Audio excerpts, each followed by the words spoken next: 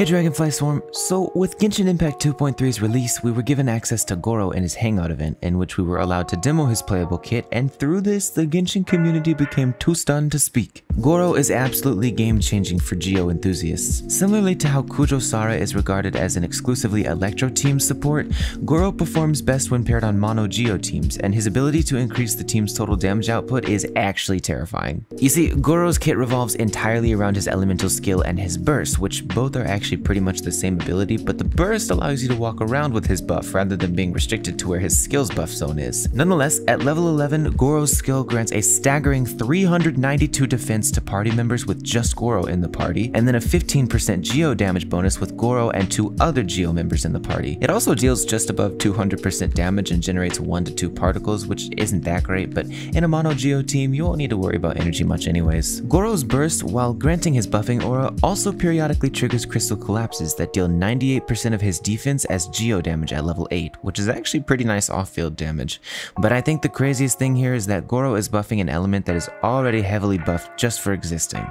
Geo is an element that can't perform offensive elemental reactions to multiply its damage output, and that's how most DPS characters rely on dealing viable damage, but in Geo's case, they have the formidable Geo Resonance passive and higher than usual scaling to compensate. So with Gorou coming to the game as a massive defense and Geo damage booster, characters like Itto, Noelle, and Albedo, and I guess even Ningguang, despite she doesn't scale with defense, are going to become exponentially stronger. And they could genuinely end up changing the way Geo is seen by the community, all thanks to Gorou. But Gorou's interest as a god tier Geo support doesn't even end with his ability to buff your team's damage, because he can also quite surprisingly buff his own damage, turning him into an off-field DPS as well as a massive buffer. With his second Ascension passive, the initial slam damage from Gorou's skill and burst, plus the periodic crystal collapse damage from his burst are all increased by a percentage of his maximum defense, which he can also boost. So not only is he buffing his team's damage, but he's also buffing his own damage, and especially with the periodic burst explosions, he becomes an actually formidable hybrid between an amazing geo damage buffer and an off-field sub DPS. And because of the way his kit works, I'm gonna go out on a limb and say that his best in slot artifact set will definitely probably be the 4-piece Husk of Opulent Dreams. Gorou is able to trigger the maximized 4-piece passive very easily, and the defense bonuses on top of the geo damage bonuses will scale his damage output very nicely, further reinforcing his spot as not only a huge buffer for his team's damage, but his own off-field damage as well. And this kind of plays into a point that I wanted to make about Gorou anyways. Kujou Sara and Gorou are similar in that they both act as exclusive damage buffers for their element, but Kujou Sara's kit is really clunky and requires her to be on field for too long, and this inherently makes her a much less ideal choice as a support than other characters. Gorou is the exact opposite of that however. His entire kit is based around quickly swapping on to activate his buffs and his off-field damage, then swapping out so his team can take care of everything else. And that is actually the formula for a god tier support in Genshin Impact. You see, characters like Xiangling, Xingqiu, and Bennett need very little on-field time to find value and impact in their kits, and because of this, the team can focus its main DPS with on-field time while the support does their supporting